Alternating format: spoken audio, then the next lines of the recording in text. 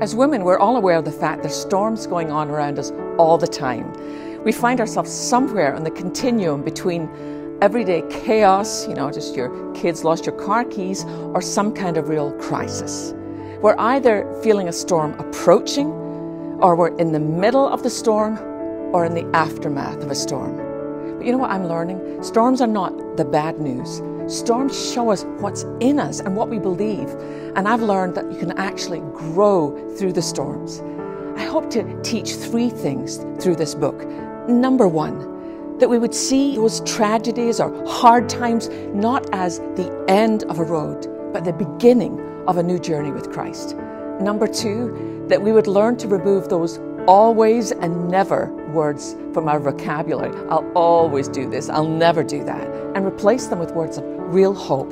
And number three, equip you to be able to help your friends when they're going through such a difficult storm and you don't know what to say to them. I think together we can learn from the storm inside when we trade the chaos of what we feel for the truth of who we are.